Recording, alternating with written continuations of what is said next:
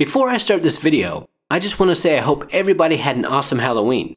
Sadly, I was sick the past week, so I wasn't able to make any videos, but I will catch up this month. Also, I've been getting a lot of requests to bring back my sweaters, so please make sure to check out my new clothing store. Every purchase greatly helps the channel. The link will be in the description or in the top comment.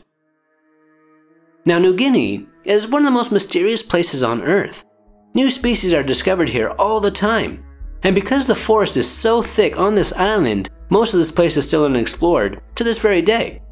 And what I want to talk about today is some explorers believe that there is a large unknown animal that lives on this island, and it is known as the devil pig of New Guinea. Some even think that it's a giant ground sloth. The first report from Western explorers happened in the late 1800s when an explorer, Sidney Smith, and Captain Moresby stumbled upon an unusual pile of dung while they were exploring New Guinea. And to them, it looked like the dung of a rhinoceros, which was very odd. There are no known animals like that that live on this island. And not too long after, a German zoologist wrote that while he was hunting in New Guinea, the natives told him that there was a large animal that lived in the forest, but the sightings of them, even from the natives, were extremely rare. Then in 1906, a British explorer was in New Guinea when he claimed that he saw signs that a very big unknown animal lived here, as he stumbled upon some very large cloven footprints. Then on the same expedition, a man named Oji claimed to have actually seen one with his own eyes. He too discovered some large tracks, so he decided to follow them. Then he saw two of them. He stated that they were very large animals that kind of looked like large pigs. They had dark patterns on their bodies, had long snouts with a horse-like bushy tail. And this man was terrified because they were just so big, and also because he had never seen anything like it before. But instead of running away or leaving them alone, he decided to shoot at them because he believed that they were devils, not regular animals. But his hands were shaken so badly that he wasn't able to kill one. Now, when the media found out about this alleged encounter, they wrote a lot of articles about it. One article stated, the huge Gazeka turned upon him. As it reared upon its hind legs and pawed the air, it looked to the hunter as big as a house, standing 25 feet high.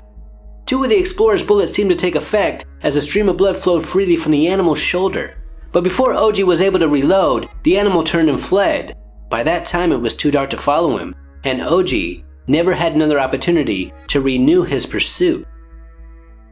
Now, this article made a lot of people believe without a shadow of a doubt that there was some sort of huge unknown animal that lived here, even though there was still no proof, just a very interesting alleged sighting.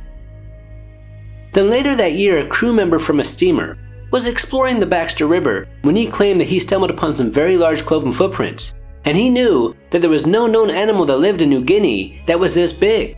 So he told his other crew members, and this story also blew up. Another account happened in the early 1900s when a naturalist, Walter Goodfellow and his team was sent to Papua New Guinea to study the native birds. And in a report, this expedition claimed they had discovered a prehistoric monster larger than an elephant. They also stated that they had encountered a race of marvelous pygmies that the world had never seen before. But yet again, they didn't bring back any actual evidence. Then finally, in 1920, a man claimed to have gotten a tusk from one of these creatures from the natives, but it just vanished. Then in 1952, there was a sighting by pilots flying over New Guinea. These pilots stated that they saw some very large animals that looked like huge red elephants down below. Now, this was the last documented sighting, and because there were quite a few reports of this creature, some believe that it does exist.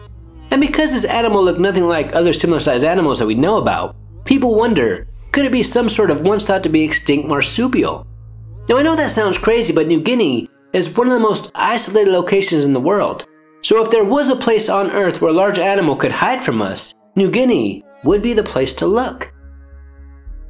Now this case reminds me of Mokele Mbembe, a dinosaur that some believe lives in the Congo, and I have covered this before. Now eyewitnesses claim that this creature is 35 feet long, has brownish skin, and has a very long neck. The natives have many stories about this creature, and one of the most interesting stories that I've heard of happened when a tribe of pygmies built a large spike fence in the water because this dinosaur was eating all their fish. But not too long after this fence was built, it broke through, so the pygmies had no choice, they had to kill it. Then they ate it, and every one of them who ate the meat died, making the pygmies believe that these creatures have supernatural abilities. and even some Western explorers claim that they have seen this broken down fence. Now, there have been many expeditions into this region, but none of them have been able to get actual proof of this creature. But there is some alleged footage of Mokele Mbembe. In 1992, a Japanese expedition claimed that while they were flying over the Congo, they saw a huge animal swimming in the water. They couldn't believe how big this animal was, so they filmed it. And this footage is interesting, but many say that it's just an elephant or people in a canoe. Now, just like in New Guinea, the Congo is extremely remote, so it's possible that a large animal like Mokele Mbembe could exist, it's just highly unlikely. But because of all these stories, people still to this very day go into this region hoping to finally get proof of Mokele Mbembe once and for all. Until next time, this is Paranormal Junkie. Make sure to hit that subscribe button and stay tuned.